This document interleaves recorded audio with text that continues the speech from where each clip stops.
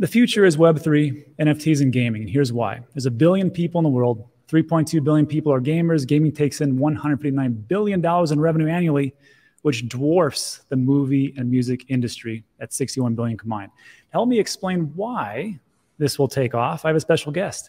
This is Yat Siu. He's the co-founder of Animoca Brands, which is a software and venture capital company.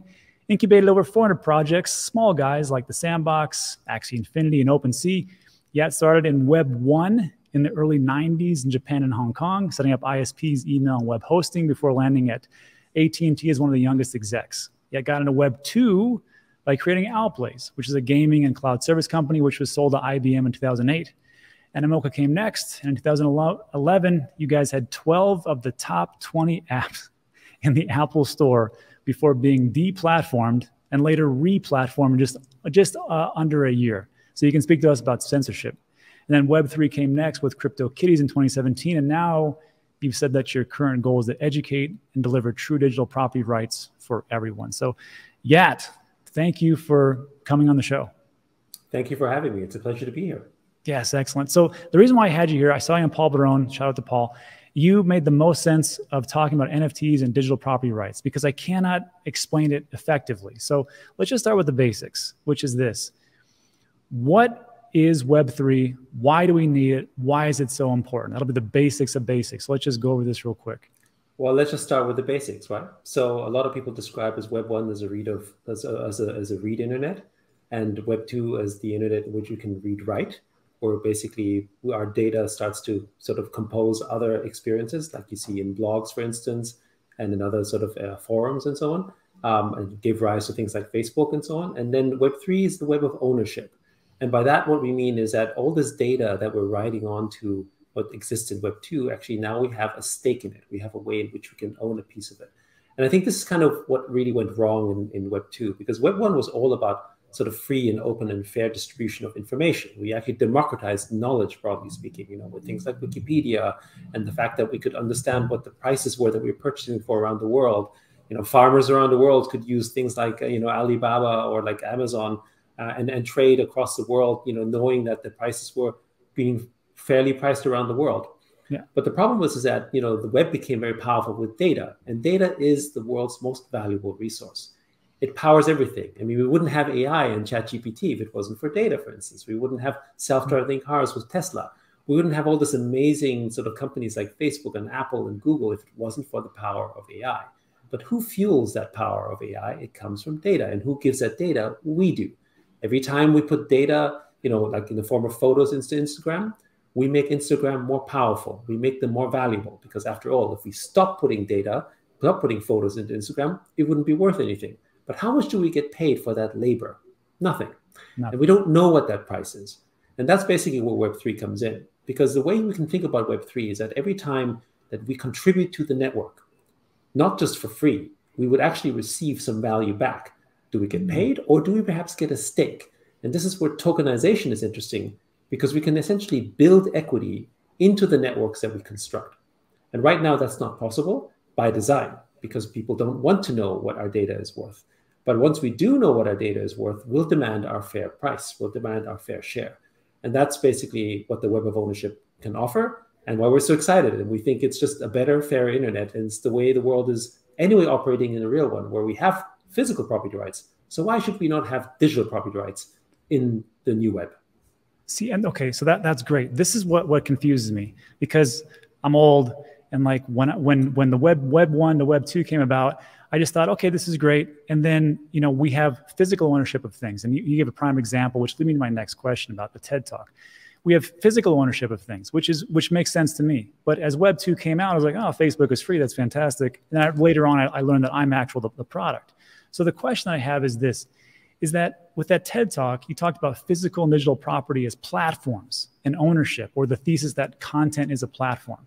So just kind of break it down. And, and before you do, there was this great quote that you put out, which which talked about you know digital or just rights in general, which looked like this: freedom and property rights are inseparable. You can't have one without the other. And he, we, he took a look at the per capita income highly correlates to property rights. We took a look at top 20%, uh, America and UK, and the bottom 20%, the people that don't uh, own a lot of different things. And of course, you give a nice little example of the network that we own and do not own. So, again, yeah, break this down for us in the simplest way we can. sure, a pleasure. So, first of all, when we think about the physical world, right? For instance, if you own a car, one right. of the benefits of owning the car is that it is your property. And one thing you can do is you can do whatever you want with it. You have the freedom to transact, you have the freedom to move it around, you have the freedom to sort of, you know, sell it into pieces if you want, or, or, or actually compose new experiences on top of it, like install a new radio or paint the car red or blue or yellow.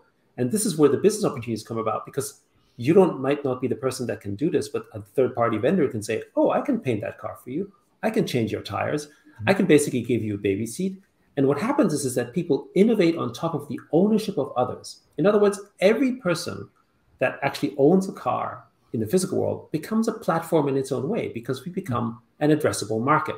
So, for instance, a, a popular example I give, you know, the car, which was, you know, with the Ford Model T over 100 years ago, its only purpose was to drive you from point A to point B and be more efficient than that of a horse. Sure, makes sense, right? Mm-hmm. And they also the cars were all black because it was purely for utility. Right. But then, you know, 30 years later, someone else said, Hey, you know what? I want to transport my little kids, my baby, my toddler in the car safely. And they actually created a baby seat. They didn't go to Ford and say, Do I have permission to put in the baby seat? They just went and made one and they adapted it to fit into the baby seat, into the into the into the car. And that also led to things like, oh, maybe we need, you know, car seats and we need other things. And new innovations that basically brought standards into the car that one made the car more safer, but two also gave it more utility, and three gave it more value. And so what happens is, is that when you have a piece of property that is now owned in this decentralized manner, actually what happens is that the network effects begin to construct on top of adding value on top of the car itself. So meaning today you don't buy a car just to take it from point A to point B.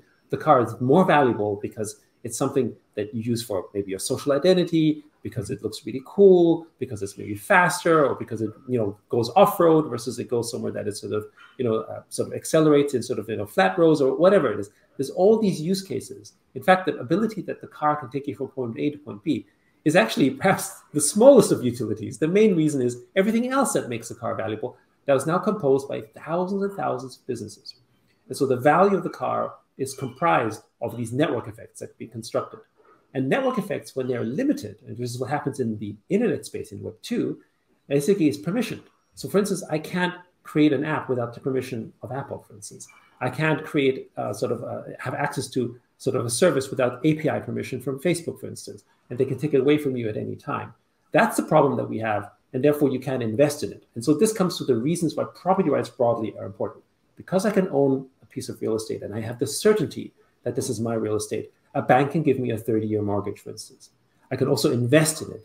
I can build a restaurant or I build a business knowing that I can have this for many, many years to develop on top. Now, take this into the API world of Web 2, when, when Apple might change the rules every six months. Imagine you have a tenancy which you're running a restaurant and the landlord comes to you and changes the terms of your deal every six months. How can you actually invest in something long term? You can't, which means the window of your investment becomes limited you can only expose your risk into short-term capital. But mm. short-term capital doesn't bring returns.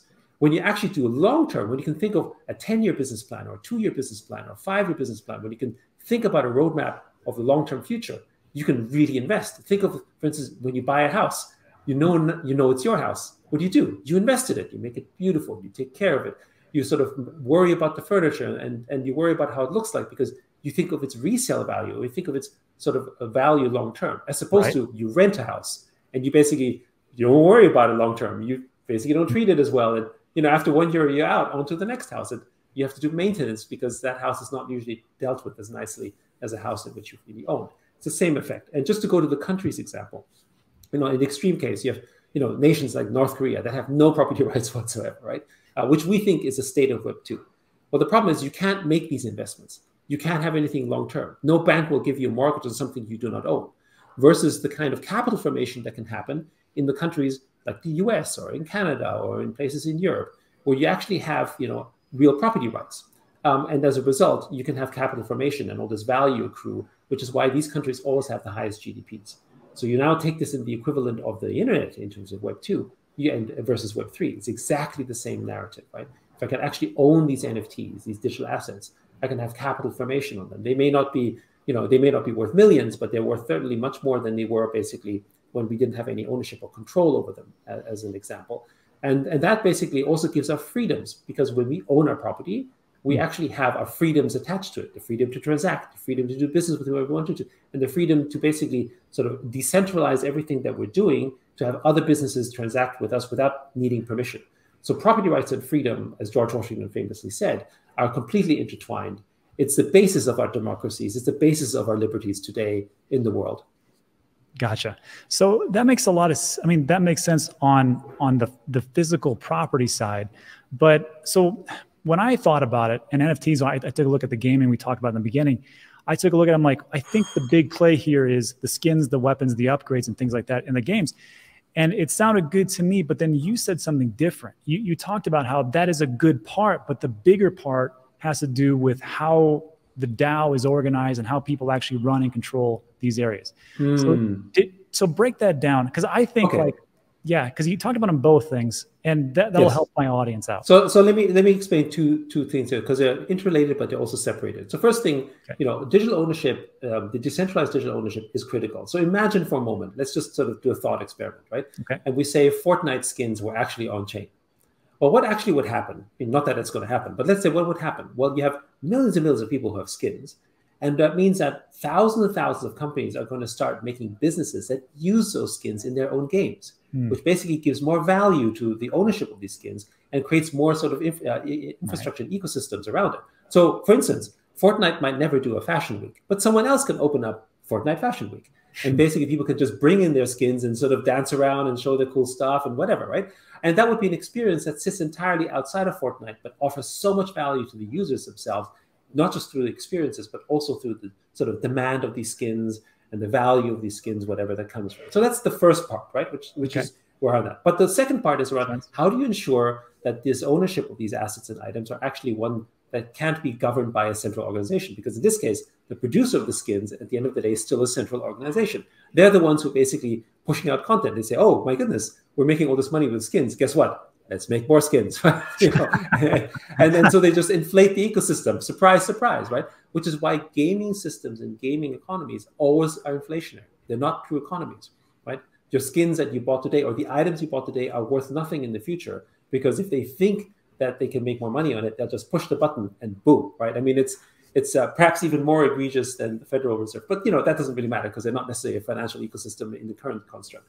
Now this is where daos come in and this is where essentially sort of ownership of these sort of control of the supply, control of the ecosystem goes into the hands of the very users that own it. In other words, you know, this is where we have sort of a democratic system in play. In the same way that, you know, as much as we find that, you know, the democracies around the world, like the US, might be a little messy, there are many things you can't change without due process, right? I can't just take away your stuff without sort of, you know, a, a legal structure. I can't change the laws or the constitution without going through the House and the Senate and the president right? There are things that ensure that our liberties are protected. And who elects these people that make these laws?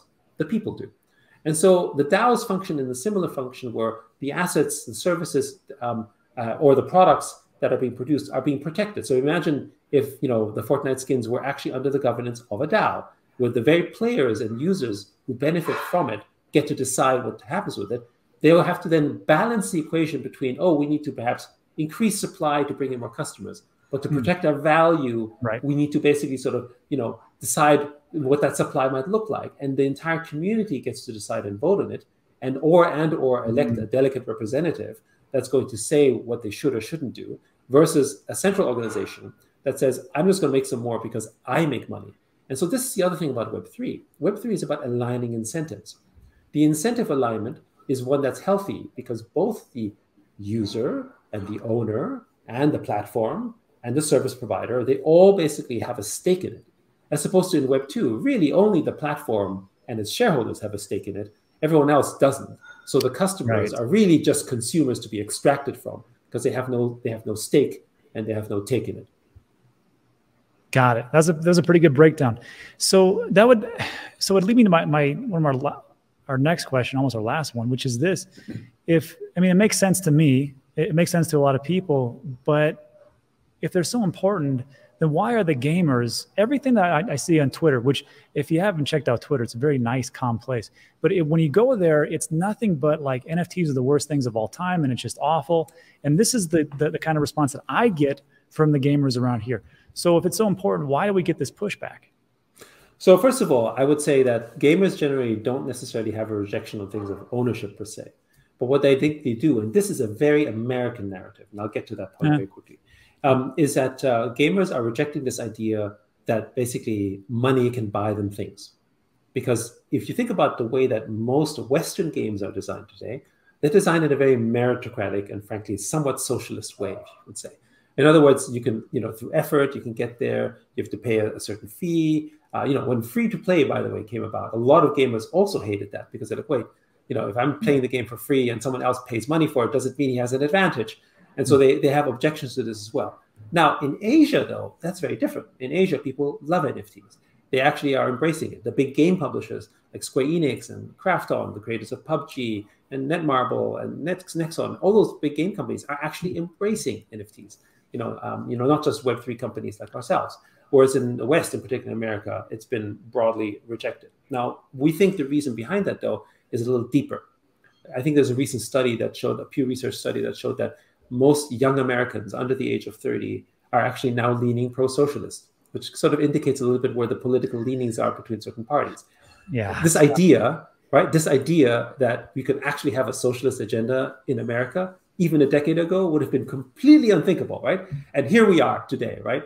And and I think this is this narrative plays into other areas in people's lives. Capitalism hasn't worked for most young Americans. You know, they, they, they don't see an opportunity. They look at billionaires as a fault in the system. They criticize capitalism because they think that that's basically almost feudal in their construction. If you have money, you make more money, for instance. If I don't have money, I'm stuck, right? Mm-hmm. So now you translate this into a digital construct. What is crypto? It's not just NFTs, right? Those same people who don't like NFTs also don't like Bitcoin. Those are the people who basically think of crypto as a digital form of capitalism. They may not intellectualize it that way, but it's a feeling because when you see their reaction, it's not logical. The reaction isn't an, intellectual response that counters it in a sort of calm and collected manner, as one would do.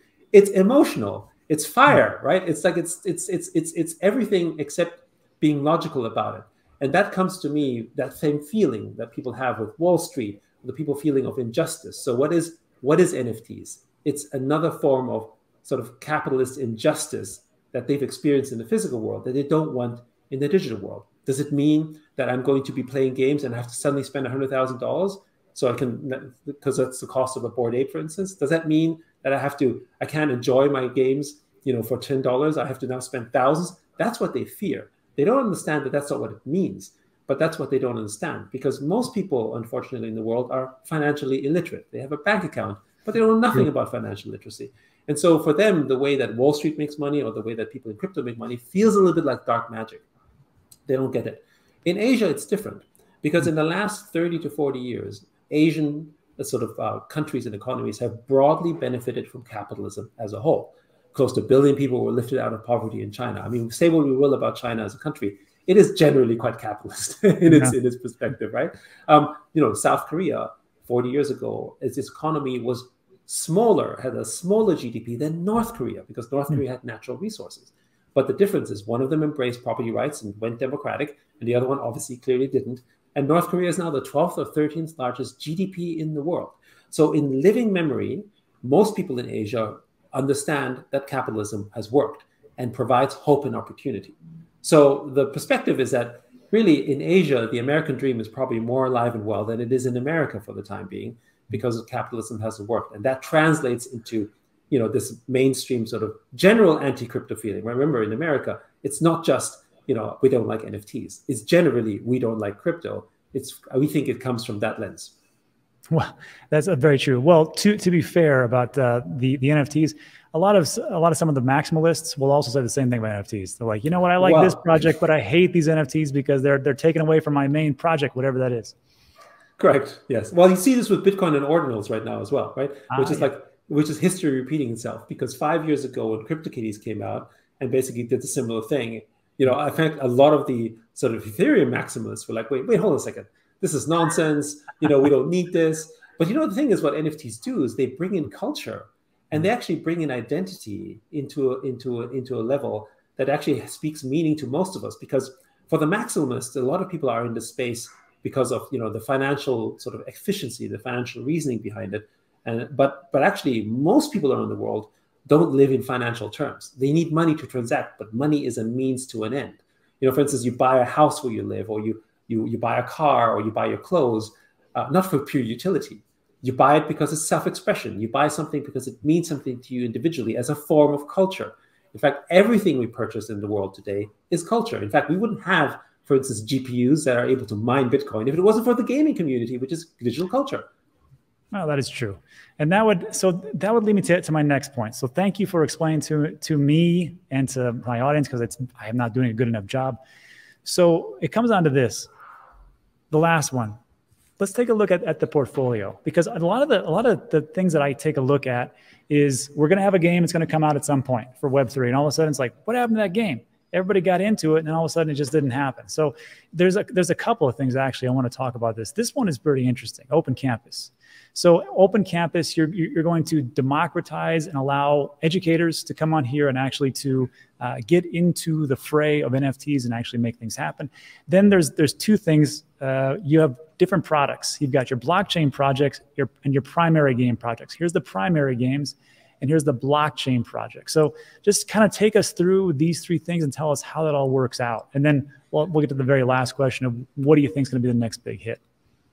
Right. So broadly speaking, I mean that's a that's, that's a lot of topics, but broadly speaking, maybe the way that I would just uh, sort of encompass the philosophy of Animoca Brands is that we believe in this thing called the shared network effect. We think this is possible in Web three. We think Web three is inherently anti-monopolistic, right? Meaning that because our data is now on chain and now it's public, uh, it's a public good.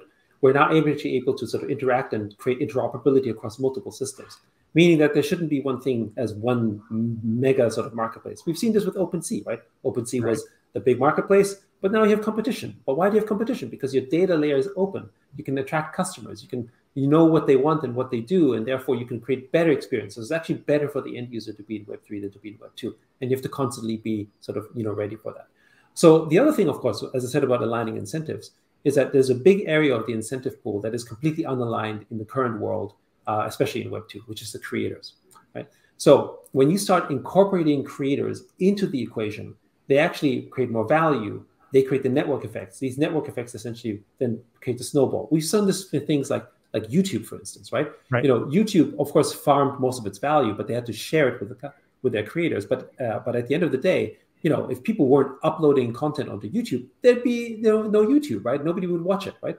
And and what do most people now look at YouTube for? Educational content, actually. So education is actually a five trillion dollar space. And the reason why we started focusing on, on education as well is because we think of it as two way. One, it's mass adoption. We have to educate the teachers around crypto.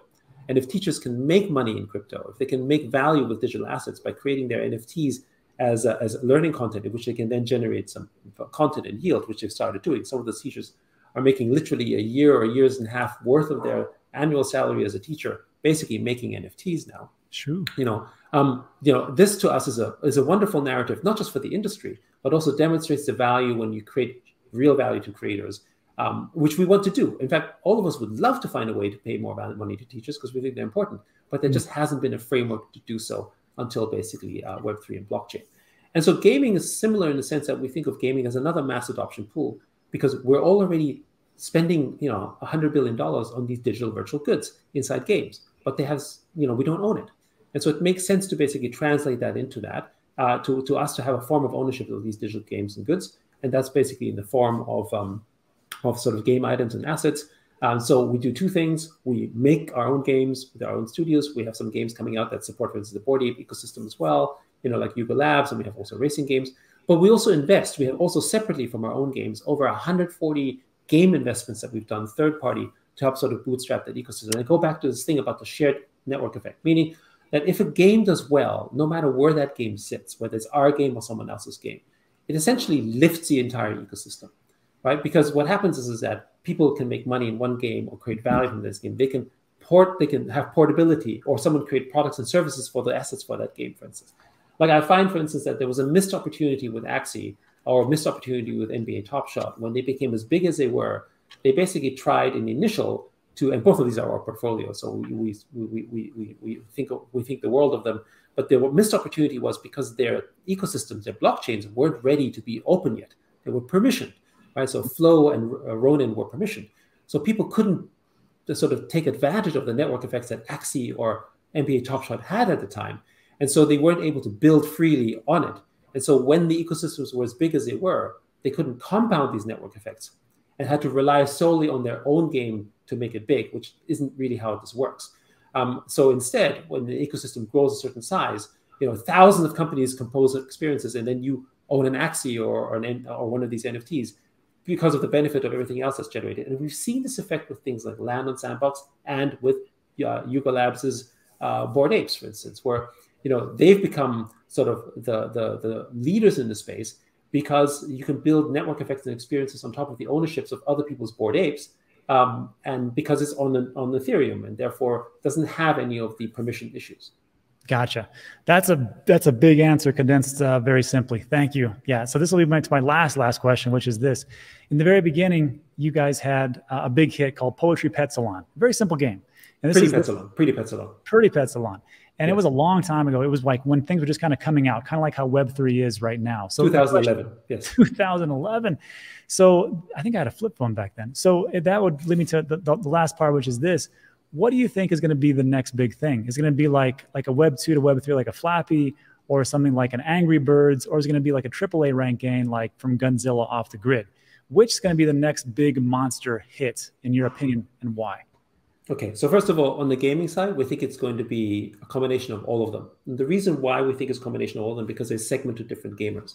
Unlike um, the Web 2 mobile phone, smartphone adoption era, we were limited by the hardware, meaning the experience was you weren't able to make a game better than Angry Birds or better than Flappy Birds in the beginning before we ended up getting to sort of you know Clash Royale and those type of experiences because of the fact that the physical device was limited in its construction and in its ability and its speed. But we don't have that issue today. We've got very powerful smartphones. We've got very powerful GPUs. We've got great gaming gears, right? So that means from an addressing standpoint, I think the acceleration in terms of adoption is faster because you have a 3.2 to 3.4 billion dollar as a user addressable market that's already sitting there, right there, willing to basically experience a better meta layer of a game, in this case, which comes from ownership. So that's the first point. But what is the barrier? To us, the barrier isn't actually the game itself. Uh, of the 140 games, most of them are going to launch in the next uh, two years.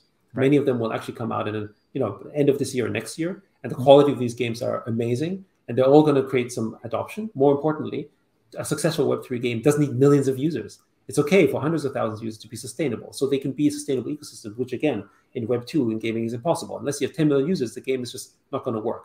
Right. Mm-hmm. So so in that sense, again, you know, there's going to be sustainable small games, medium games, and then some very large breakout hits that basically draw in large audiences. We think that's going to happen. But the difference between true Web 2 to Web 3 onboarding is financial literacy. In other words, ju- you know, we, we onboarded over 20 million wallets, you know, between our various sort of products, but yeah. the conversion, the true Web 3 conversion remains very small. And the reason why is because just because you give someone a wallet and you make it easy for them and it's custodial and it seems straightforward, they still don't know what to do with it because they, they don't know anything about financial literacy. They don't invest they don't invest their real money in stocks, for instance. They don't understand compound interest, right? They don't know this. And in our little bubble of Web3, we think everyone should know this. But then you step out and you say, wait a second, they don't even know this. So how right. do we expect them to understand it? So as part of our job as an institution and as an industry, we need to basically be aware of the fact that most of the world, 95 plus percent, are actually financially illiterate.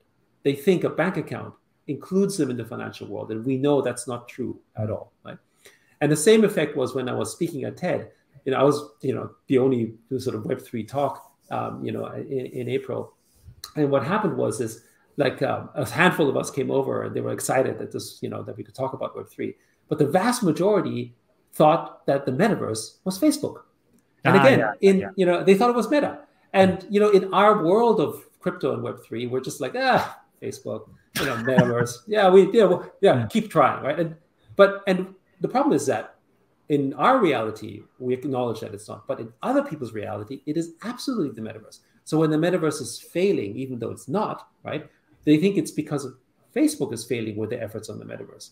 And so I guess for us, really, the message is that we're in this bubble of our own world of financial literacy. We are financially more aware, and we think the whole world knows this, and they don't. So we need to go and teach that to people. And when we make games, what we're now doing is we're trying to introduce, and that's also why we're focusing on education. We introduce people around more financial literacy, making them more financially educated, because then they understand why ownership matters. Right? Um, it's just the other thing. But if we understood, for instance, the value of our democracy is we wouldn't have barely 50% turnout or voter turnout, right? So it's the same thing. We have to keep we have to keep pushing and driving it. And financial literacy is so so sparse that we have to uh, we, we just have to put more effort into it. And then I think the onboarding to Web three will become more smoother uh, as we've witnessed ourselves. Excellent. Well, yeah, you have said a lot of information in a very short amount of time. So First of all, thank you for stopping by. We appreciate it. Everybody for watching the video. Uh, there's different interviews that I'm going to link uh, in the description below, also for Animoca brands, and you can take a look at what they're doing. But yeah, again, I couldn't do this without you because I'm not explaining it correctly. So thank you for stopping by the show. Thank you for having me. It's been a real pleasure. All right, everybody, let's jump back. Okay, so once again, I want to say thanks to Yat Siu for stopping by. I think that was a heck of a lot of information to digest, and uh, I've got to tell you, there's nobody better, I think, that explains NFTs and what's going to happen as far as digital property rights moving into the future. And lastly, I just want to give everybody a little bit of insight. And that is, we didn't talk about this, but there was a, a piece about, I don't know, three weeks ago or so, where it talks about how Hong Kong sets up a task force for Web3 development. Hong Kong wants to be a Web3 hub, Financial Secretary Paul Chan said. And coincidentally, you know who's going to be on that council? Yat Siu. And this was from Animoca Brands as he was appointed a Hong Kong task force on promoting Web3 development. So I think that maybe Yat might know a little bit about what's going on in the Asian markets, Web3 developments, and blockchain tech. And that's it for today. So look, if you like today's video, give it a thumbs up, consider subscribing. I don't care where you get the information. A lot of things are gonna move pretty fast.